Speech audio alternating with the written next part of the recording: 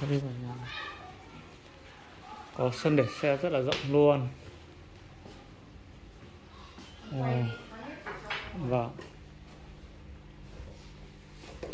Và tầng một rộng mênh mông luôn. Tầng nào cũng thế này. Và tất cả các tầng trên còn rộng nữa.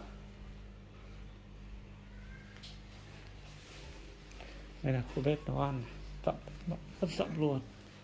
Có một nhà vệ sinh bên trong này. Ừ. sao, sao sạch nữa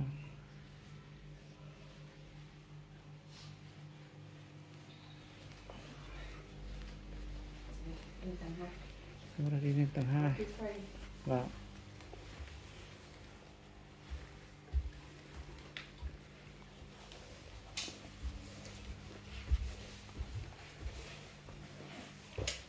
Ồ nhà cô sạch sẽ nhỉ? Nhà cô tất cả các sàn đều sàn gỗ sạch bong Đúng rồi quá sạch sẽ luôn. Vào con con mới thấy nước sữa chưa Ồ chào các cháu sao mà chăn chiếu các con dỡ ra? Rộng nhỉ công nhận nhà cô rộng thật. Ờ.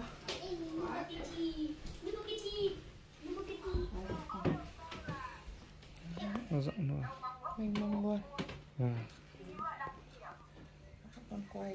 Cái này là sau có cửa thoát hiểm. À cửa thoát hiểm. Cô rồi xây dựng cô xây dựng. Đấy con quay. Đứng từ trong ấy con đi Vâng. Vâng. Rộng lắm. Sàn gỗ hết. Rồi còn lên được trên nữa đúng không cô Vâng. hai nhà vệ sinh đây Vâng, Vâng. cầu thang con quay luôn. Vâng quay hết rồi.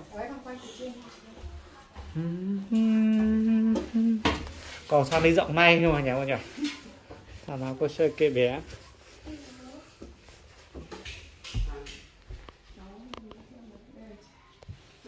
vâng cho cho chú ạ.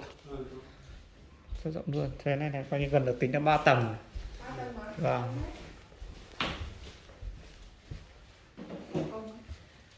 vâng.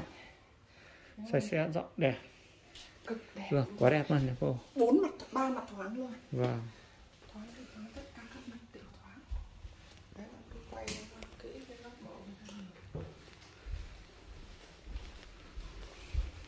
quá